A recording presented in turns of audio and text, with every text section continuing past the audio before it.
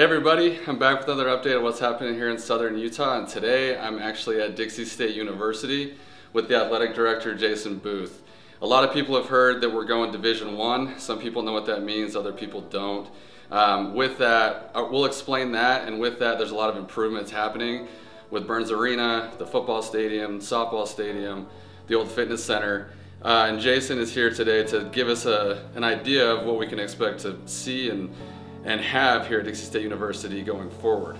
Uh, so Jason, thanks for your time today. Yeah, thanks. Appreciate it. Um, so the Division One thing um, that everyone has been hearing about. What is Division One? What does that mean? Division One is the top level of intercollegiate athletic competition. Um, we've been competing as a Division Two for the last 14 years and doing very, very well uh, right. in that, both oh, yeah. on the fields, on the courts, and in the classroom.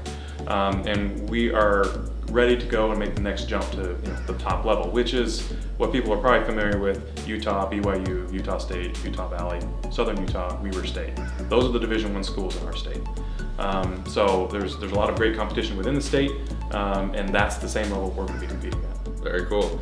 Now I, I grew up here, so I've been I've been through JUCO to Division Two, and obviously it's a it's a dream as an athlete growing up to be able to have a D1 school, right. to go to a D1 school. Right. But then even to have one in your in your in your town yeah. is, is pretty cool. Yeah, it's a huge deal for the town, and, and St. George and Southern Utah community is ready for this um, to to have, and they quite honestly deserve a Division One right, absolutely. in town to be able to compete with you know the, our, our friends up north. Um, yeah. Not only in Cedar, but also in, in Orem and in Ogden and everywhere else. So uh, I think we, have proven that we can have a successful athletic program uh, no matter what level. At the JUCO level, we've right. been very successful. Dominated won national that. championships, mm-hmm. and we've done very well Division 2 mm-hmm. um, haven't won any national championships, but we've won a lot of conference and regional championships. Oh, yeah. Done very very well. Um, and this will allow us to showcase our athletic success uh, at the highest level and, and, a, and, a, level that people are just familiar with. That we'll have teams coming in here that people know right. um, uh, that are very big names uh, of, of, teams. And uh, I think the community is going to be very, very excited and, and very, um, very supportive of this move to Division For sure. I agree completely. I'm super excited. So with that, with the Division One move, we've got improvements to some of the facilities. Yeah. First off, we're here in the Directors Club. This is downstairs at Burns Arena. Uh, tell us a little bit about some of the improvements at Burns Arena. Well, this, this room here, the Directors Club, is a room for our top level of our booster club. Um, the Trailblazer Club is the, is the booster club, but the Directors Club is the top level within the booster club. Okay. Um, and this, uh, this hospitality room used to be the old uh, Colonel's room, if you're familiar with that from back in the day.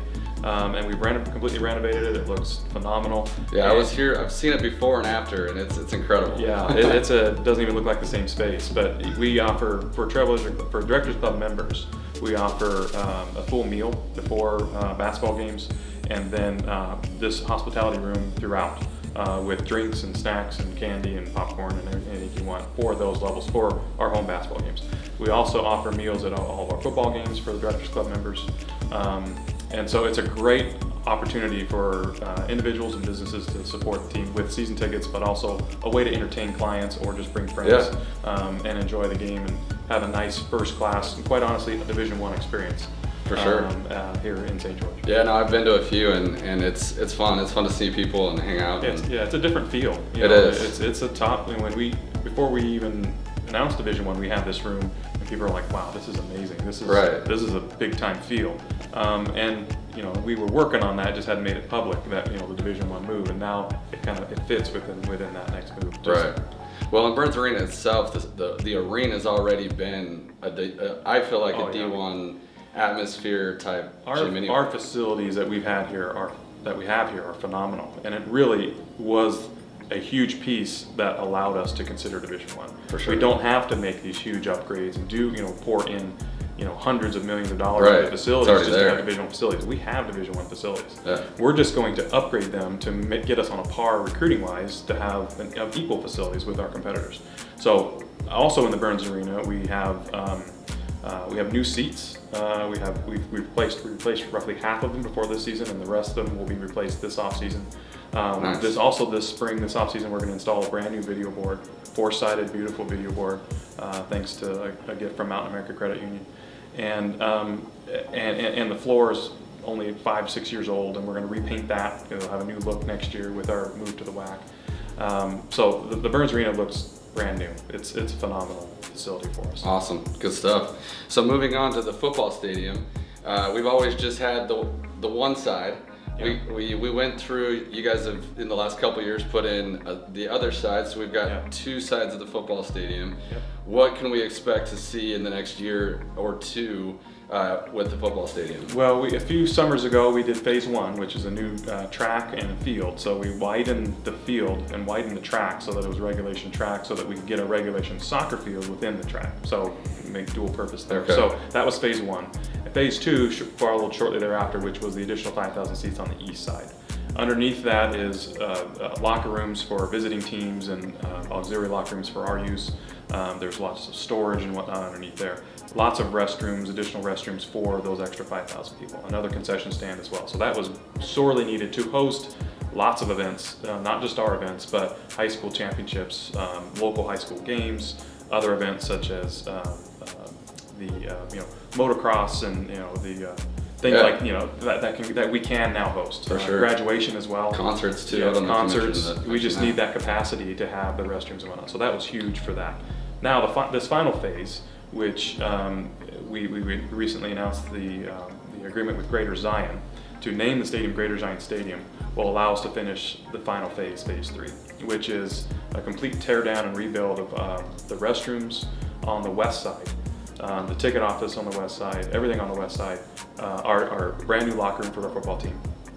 And um, as well as a brand new press box. Two level press box, which will include private suites, loge suiting, uh, loge seating, and um, a, uh, an entertainment area, a banquet space for about 200 and 250 people on the, you know, up in the press Up in the box. press box. Which we'll have, uh, which we'll use for the Directors Club uh, folks for, for football games, but it'll be available for rent for wedding receptions or business meetings or whatever.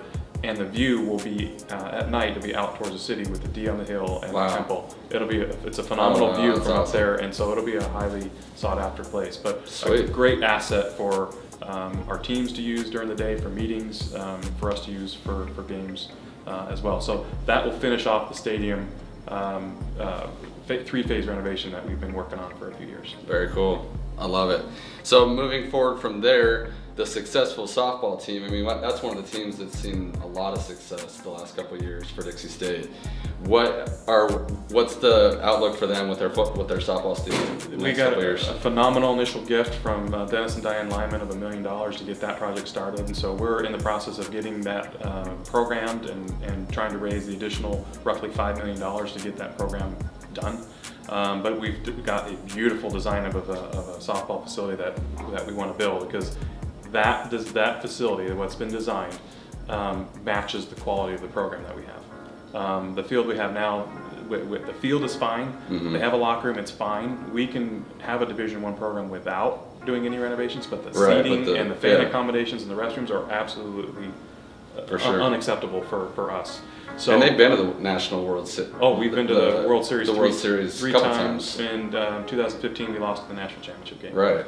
So it's a very, very good program. Our most successful nationally as a Division two, um, right there with men's golf, who's been to the NCAA tournament every single year we've been in the NCAA. Um, and so it, it deserves the facility to match that. And um, we feel that that program, uh, one of a few, will be able to not really miss a beat when they go to Division one. Just you know, Awesome. probably won't be getting into the World Series right away. Obviously, we won't be able to for the first Right. years, but they're going to be very competitive and be right at the top of the conference right away. Very cool. Awesome. Very cool to see. So then last but not least, we've got the old fitness center, Yeah. which I've, I think I even did maybe some swimming lessons there back way back when. Um, and I know as a student, I would go in there and work out sometimes. What's the plan for the old fitness center? The old fitness center, now that the Human Performance Center is open, um, will be renovated into a uh, student athlete wellness facility. So we'll have a full athletic training services will be in there. We don't have a large athletic training room right now. We have, the largest one we have is in the uh, Greater Zion Stadium and it's nowhere near large enough for all of our uh, nearly 400 student athletes. So we need that large uh, space and be centrally located for them to get to what are not only athletic training, but rehab facilities that will have uh, cold and hot uh, therapy pools uh, Wow. in there as well. There will also be a medical clinic in there with x-ray. Um, our sports psychologist will have an office in there. So when our, when our athletes need to see a doctor right away, the doctor will be available right there. They don't have to go over to the hospital. Uh, not that that's a huge inconvenience, but Right. if the doctor is right there, they'll just walk around the corner and see a doctor. Um, and so that, that's a phenomenal resource that we'll have. Yeah. Again, that's just another thing for That's a D1. D1 thing. that- I've been to D1 universities with uh, with that Oh, yeah. facility. Yeah. And And, we have a need for it anyway, so we'd probably be doing it anyway, whether we're going Division One or not, Mhm. just to service our student athletes. So um, we we uh, will be starting that renovation here over the summer, and hopefully have it completed in, in mid fall. Nice, very cool. So that's a wrap for Dixie State University. As you can tell, going Division One is a big deal. As an athlete growing up here, like it's I, like I said before, I've gone from watching the JUCO dominate. I've watched so many teams dominate at the D2 level, um, and I can't wait to see what, what we can do D1. It's going to be awesome. It's gonna be great. Um, so, well, thanks for your time. Appreciate it. Thanks, uh, thanks so much. For more info, uh, call me or text me 435-668-7293 or find me on Facebook or Instagram. Thanks, guys.